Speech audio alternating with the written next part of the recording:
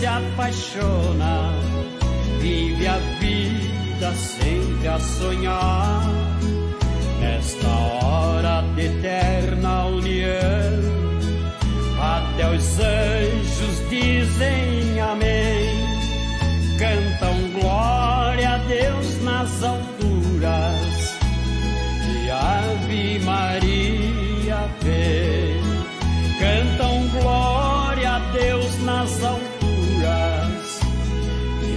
Ave Maria.